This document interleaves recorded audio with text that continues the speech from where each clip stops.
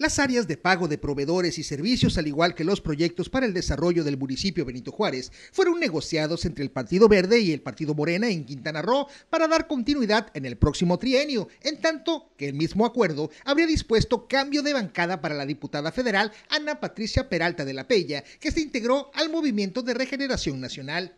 con el propósito de fortalecer propuestas de campaña, lo mismo que el exdelegado federal de la SCT, Francisco Elizondo, aunque este entró por otra circunscripción diferente a la que se integra en la entidad, Ana Patricia fue uno de los casos de cinco que fueron hechos para que el partido Morena manejara a su antojo la Junta de Coordinación Política en la Cámara de Diputados.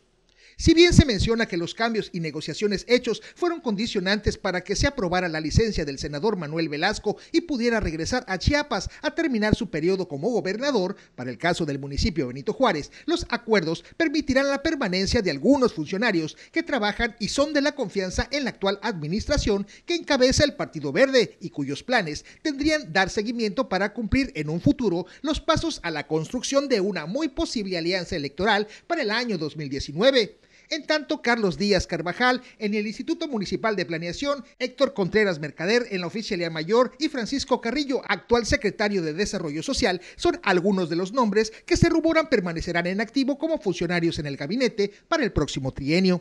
Con imágenes de Ricardo Vallejo informó para Notivisión Héctor Belló.